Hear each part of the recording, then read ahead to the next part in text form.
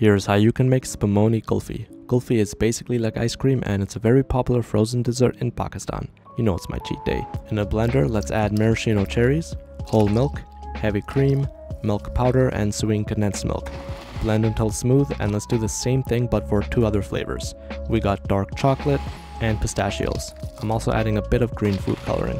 And this is Spumoni. It's basically a popular three flavored gelato in Italy. And one by one, add these flavors into your mold along with chopped maraschino cherries, pistachios, and shaved dark chocolate. Have this frozen for at least 8 hours. Enjoy.